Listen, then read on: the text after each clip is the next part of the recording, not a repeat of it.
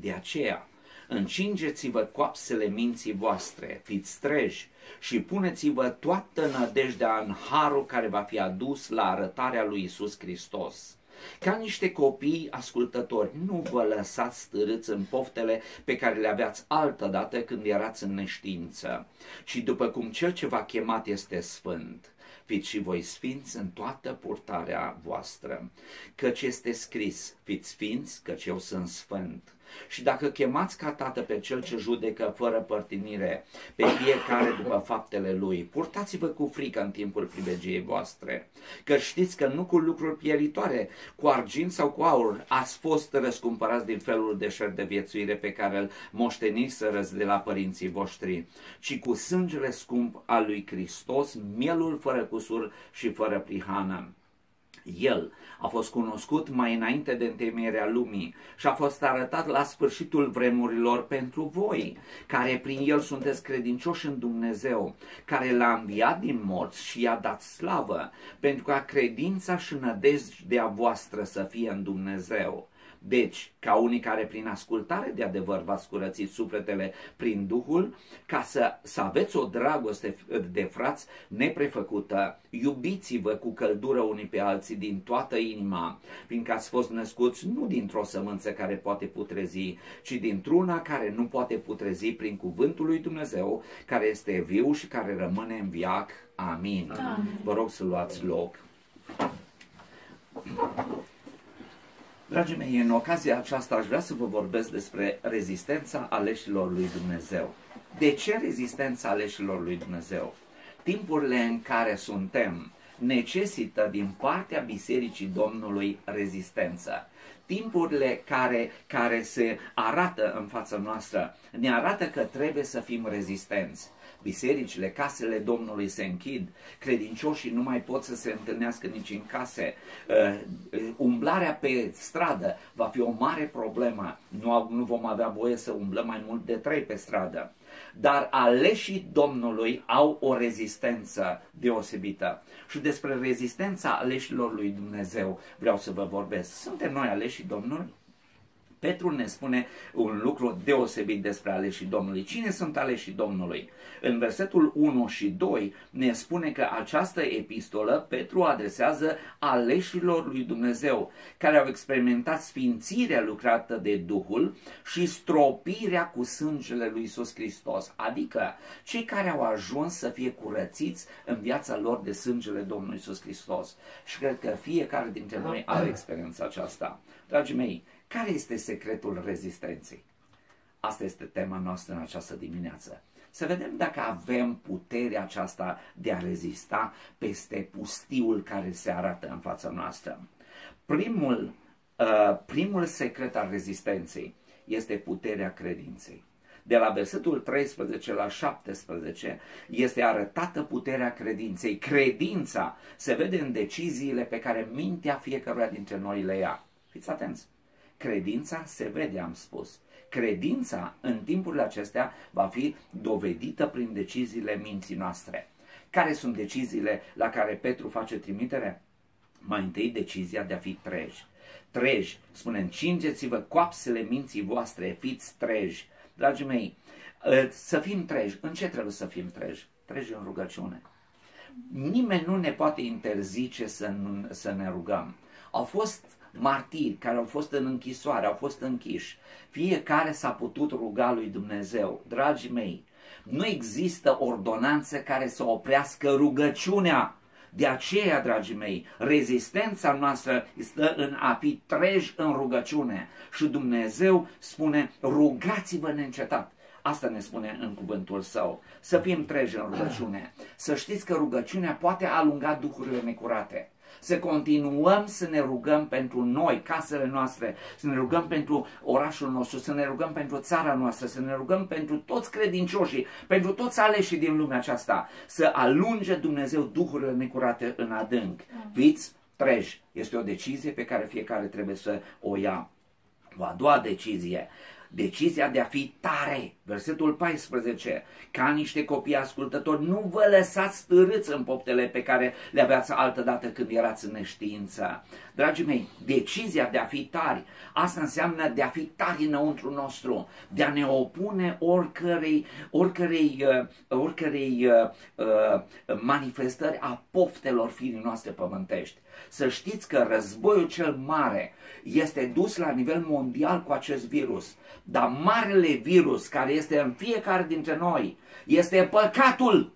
Și noi trebuie să ne opunem prin, prin, prin cuvântul lui Dumnezeu, prin credința care o avem, să ne opunem să fim tari și să facem din, uh, din poftele noastre, să le ținem roabe. Poftele pot să fie roabe sau pot să fie stăpâni stăpân nemiloși. Mă rog ca Dumnezeu să ne ajute să biruim poftele noastre și Amin. Petru Amin.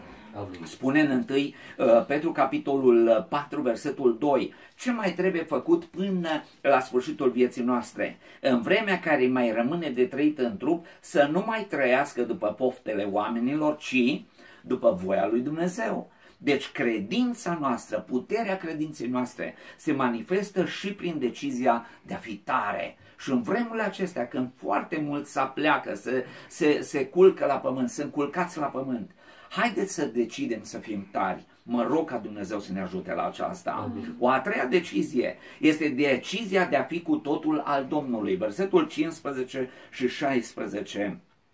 Și după cum cel ce v-a chemat este sfânt, fiți și voi sfinți, atenție, în toată purtarea voastră, căci este scris, fiți sfinți, căci eu sunt sfânt. Decizia de a fi cu totul al Domnului.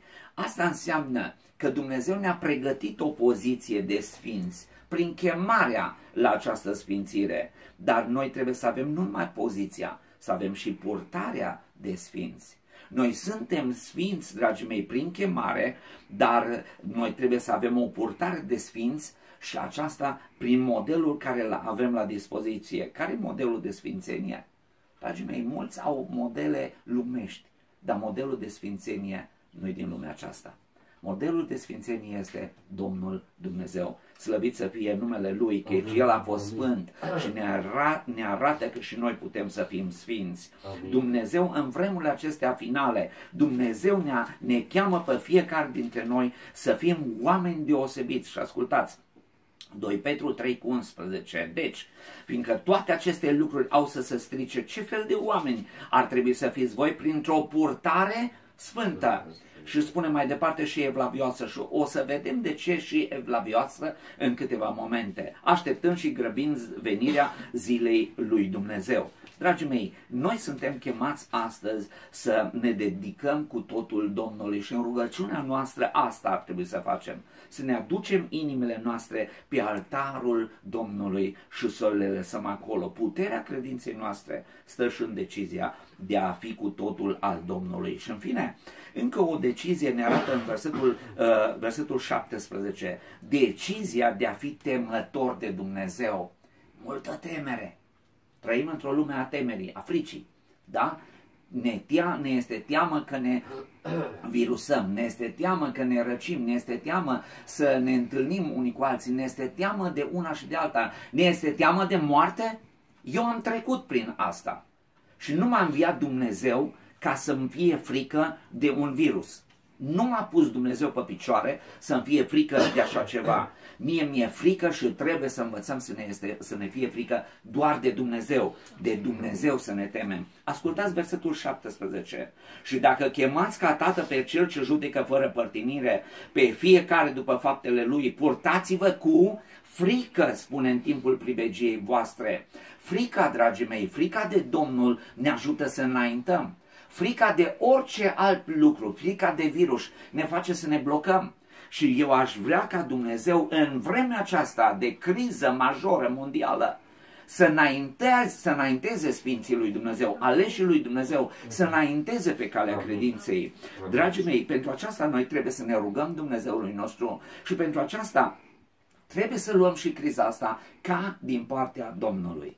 Ce putem face în perioada asta de criză? Este să ne întărim credința noastră. Ceea ce câștigă biruința asupra lumii este credința noastră. Ce câștigă biruința asupra firii noastre pământești dacă nu credința noastră? Cine va face puternici în rugăciune dacă nu credința? De aceea în timpurile acestea, capul sus, și sus și înălțat înspre Dumnezeu. Și Dumnezeu să ne binecuvinteze pe fiecare. Cei care sunt slabi în credință ar trebui să se roage ca și ucenici altă dată. Doamne, mărește-ne credința. Dragii mei, uh, mai am o întrebare aici.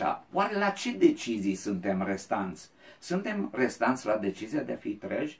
Ia să ne gândim puțin la cei care s-au jucat cu venirea la adunare. Ia să ne gândim puțin la asta. Oare nu dormeau ei când alții erau treji în casa Domnului? Ei acum au ocazia de a se trezi sau de a dormi pentru vecii vecilor. Eu cred că decizia aceasta de a fi treaz este o decizie de fiecare zi. Și Dumnezeu să ne ajute la aceasta. Decizia de a fi tare este o decizie de fiecare zi. Decizia de a fi cu totul al Domnului este o decizie zilnică. Decizia de a înainta în frică și temere de Domnul este o decizie zilnică. Dumnezeu să ne dea putere. Rezistența, nu uitați, dragilor, stă în puterea credinței. Al doilea adevăr care ne-l arată textul rezistența aleșilor lui Dumnezeu stă în prețul pus de Hristos, depus de Domnul Isus Hristos. Aceasta ne arată versetele 18 până la 21. Zice că știți că nu cu lucruri pieritoare. Auziți ce sunt lucrurile pieritoare? Alții consideră, le consideră lucruri eterne, aur și argint. Ați fost răscumpărați din felul de șer de viețuire pe care îl moșteniseră de la părinții voștri. Prețul depus de Hristos a fost decizia lui Dumnezeu luată înainte de întemeierea lumii. El a fost cunoscut, zice versetul 20, mai înainte de întemeierea lumii. Prețul lui Hristos, prețul depus de Hristos, este prețul de sânge, dragii mei. Un preț care ne-a dus răscumpărarea, slăvit să fie Domnul. Dragii mei, pentru ce ne-a răscumpărat Dumnezeu? Răscumpărarea este legată la Apostolul Pavel de strămutare în împărăția Fiului Său. Și aș vrea să vă spun din ce ne-a răscumpărat. Ne-a răscumpărat din felul de șert de viețuire pe care îl moșteniseră de la părinții noștri. Dumnezeu nu are nepoți. Ați auzit asta nu odată. Dumnezeu are doar fii. Dumnezeu nu are nepoți. Când venim în lumea noastră, avem un bagaj pe care îl moștenim de la părinții noștri și acel bagaj este un fel de șert de viețuire. Dar observați, prețul depus de Domnul Isus Hristos a fost ca să ne răscumpere, să ne scoată, să ne salveze, să ne dea eliberare din așa ceva. De aceea spun, în baza acestui adevăr, în baza prețului dat de Domnul pentru a ne răscumpăra, noi avem și capacitatea de a rezista în aceste vremuri de prigoană, în aceste vremuri tulburi, în aceste uh, timpuri. Dacă El ne-a putut scoate, ne-a putut izbăvi din firea pământească, atunci ne poate izbăvi, dragii mei, din, și din situațiile uh, de criză prin care suntem. Spune Apostolul Pavel, noi nu mai datorăm nimic firii firii pământești. Dumnezeu să ne binecuvinteze și în timpul acesta, dragii mei, în loc să stăm focalizați pe o grămadă de știri, sunt și Dumnezeu să binecuvinteze conducerea acestei țări. Sunt uh, informații bune care ne vin de acolo. Dar a te hrăni, îți a, a hrăni sufletul în timpul acestea cu lucrurile care vin de pe orice canal de știri, este, cred, un lucru vicios pentru suflet, un lucru greșit pentru suflet. Noi trebuie în timpul acesta să avem o focalizare și anume spre prețul oferit de Domnul Isus Hristos, spre sângele glorios al Domnului. Prețul uh, dat de Hristos este un preț care l-a dus pe Domnul Isus Hristos la moarte. Nu l-a dus până la moarte, ci l-a dus în moarte. Și această moarte este jertfa scumpă pentru care noi trebuie să-L lăudăm pe Dumnezeu toată viața noastră de aici. Dacă vă gândiți cu atenție la Cartea Apocalipsa, veți găsi în Cartea Apocalipsa de peste 30 de ori mențiunea că Domnul Iisus Hristos este mielul uh, de jertfă, mielul care s-a jertfit și a dat viața. Dragii mei, este mielul fără pată al lui Dumnezeu, este jertfa sublimă în cer laudele le primește Domnul Isus. Ce să facem în timpul acesta? Vom sta izolați în casele noastre, da, dar vom cânta. În timpul ăsta vom cânta. Ne vom uita în Scriptură să vedem prețul pe care Domnul Isus uh, l-a depus pentru noi și a murit în locul nostru, un preț glorios. Dragii mei, Prețul acesta este rezistența noastră. Sângele Domnului Iisus Hristos, care era pe ușorii ușii, amintiți-vă că a lăsat în viață pe cei care erau ascunși dincolo de sânge. Și exact asta este și pentru poporul lui Dumnezeu, pentru poporul ales al lui Dumnezeu. Prețul de sânge înseamnă nu, nimic altceva decât viață, dincolo este moarte. De aceea chem pe fiecare dintre voi să lase jertfa Domnului Iisus Hristos să fie pe locul 1 în atenție, pe locul 1 în laude și Dumnezeu să ne binecuvinteze. Mai apoi, prețul lui Hristos este un preț care uh, a pus cerul în mișcare. Spune versetul 20 așa, el a fost cunoscut mai înainte de întemeierea lumii. Unde erau lucrurile înainte de întemeierea lumii? Unde era Domnul Isus înainte de întemerea lumii? În cer, în cerul lui Dumnezeu. Acolo când s-a luat hotărârea în sfatul celor de sus, dragii mei, eram noi păcătoșii care urma să venim pe pământul acesta, care urma să devenim păcătoși prin Adam și după aceea prin alegerea fiecăruia dintre noi. Prețul a pus cerul în mișcare, dragilor, el este centrul planului lui Dumnezeu. Domnul este centrul revelației lui Dumnezeu. De aceea, în vremurile acestea, în care noi trebuie să rezistăm și toți copiii Domnului trebuie să reziste, prețul acesta al Domnului Iisus Hristos, dacă a pus cerul în mișcare, a trebuit să pună și inimile noastre în mișcare. Nu vă lăsați clătinați în inima voastră. Rezistența stă în prețul depus de Domnul Isus Hristos, a Lui să fie slava în veci. Prețul lui Hristos este un preț care ne dă o asigurare. Versetul 21 zice, care prin El sunteți credincioși în Dumnezeu, care l-a înviat din morți, i-a dat slavă, uh, pentru ca credința și nădejdea voastră să fie în Dumnezeu. Dragii mei, noi nu avem o credință și o nădejde în situații. S-ar putea ca perioada asta de criză peste țara noastră să fie de câteva luni de zile. Mă rog să fie cât mai scurtă. Amin. Dar atenție, în timpurile acestea de criză, prețul acesta oferit de Hristos, viața Lui, este un preț care ne dă o asigurare. Care e asigurarea? Că credința noastră nu e zadarnică. Credința noastră, bazată pe învierea lui Hristos, este o credință care ne leagă de Dumnezeu Tatăl. Și Dumnezeu Tatăl este marea putere pe care o avem fiecare dintre noi. Domnul să fie slăvit pentru aceasta. Credința în Hristos ne dă o nădejde sigură în Dumnezeu. Dragii mei, într-o bună zi vom părăsi lumea aceasta. Dar unde ne ducem? Ne este frică de moarte? Nu. Pentru că știm că dincolo de moarte, dincolo de viața aceasta, este Dumnezeu cu brațele Lui deschise. Și nu odată am definit moartea ca oferta irezistibilă a lui Dumnezeu de a veni acasă. Fiecare are o casă aici dragă pe pământ. Și iată că situația aceasta ne închide în casele noastre pământești. Dar va veni o vreme când peste toți și necredincioși Dumnezeu își va pronunța judecata. Și Domnul ne va chema în vremea aceea pe fiecare la El acasă, Amin. pentru protecția eternă. De ce? Pentru că noi suntem mai speciali? Nu, ci pentru că s-a depus un preț și noi am acceptat prețul acesta al salvării, al răscumpărării, prin credința în Domnul Isus Hristos. Dumnezeu să binecuvinteze neamul românesc cu această credință în Domnul Isus Hristos. Și în fine, rezistența noastră, ca și cum n-ar fi destul, Petru ne spune la versetul 22 și 23 că mai stăm ceva. În pasiunea cuvântului lui Dumnezeu și aici focalizarea este pe cuvânt. Zice, deci ca unii care prin ascultarea de adevăr, aici cuvântul este adevărul. Versetul 23 este sămânța care nu poate, rezi, nu poate putrezi. Este cuvântul lui Dumnezeu. Pasiunea cuvântului lui Dumnezeu. Dragii mei, pasiunea cuvântului lui Dumnezeu este pasiunea inimii lui Dumnezeu. Și inima lui Dumnezeu vorbește inimii noastre există niște decizii pe care inima noastră, a celor aleși de Domnul, este, stau, uh, trebuie luate. Care sunt deciziile acestea? Decizia de a asculta într totul de cuvântul Domnului. Dragii mei, decizia aceasta înseamnă îndreptare după adevăr. Cuvântul Domnului este dreptarul învățăturii sănătoase.